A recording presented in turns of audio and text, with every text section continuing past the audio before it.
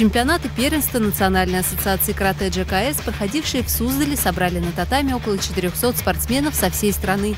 За чемпионский титул сразились и новотрайчане. Наш город представили 7 каратистов. В упорной борьбе нашим ребятам удалось завоевать 12 наград различного достоинства и занять пятую строчку в общем зачете.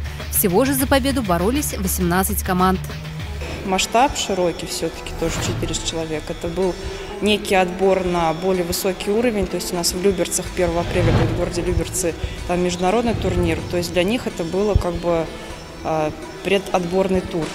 Программа соревнований включила в себя состязания по ката, кумите и джунро ката. И в каждом виде новотрайчане показали отличную подготовку. По три награды принесли в общую копилку Даша Курганова и Даша Жляева. А многократная победительница различных соревнований по карате Зарина Сарсенова стала трижды чемпионкой, завоевав три медали высшей пробы. То, что три медали, это для меня не впервые, а то, что три первых места. Было три медали, но два первых, одно второе, как бы не дотянул. Было два вторых, одно первое. А это три первых сразу как-то, ну, удивление, неожиданно и радостно. Конечно, такой успех дорогого стоит. Уже более 10 лет Зарина приходит в спортзал и на каждой тренировке выкладывается на все 100. Свои первые, не столь уверенные шаги в спорте Зарина помнит очень хорошо. Помню, меня привела мама, я как бы было очень много народу, мне было как бы впервые это непривычно, страшно. Такие здоровые парни, женщины. Вот, много разных поясов, и у меня был первый, первый пояс белый, а сейчас уже черный. Черный пояс – цель каждого юного каратиста, подтверждение определенного уровня мастерства.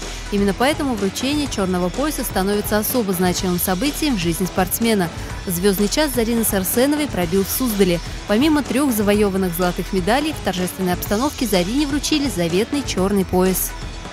Для меня первый дан – это первая ступень спортивного мастерства. Да, но я буду продолжать стремиться ко второму, потом к третьему – а дальше уже как судьба покажет.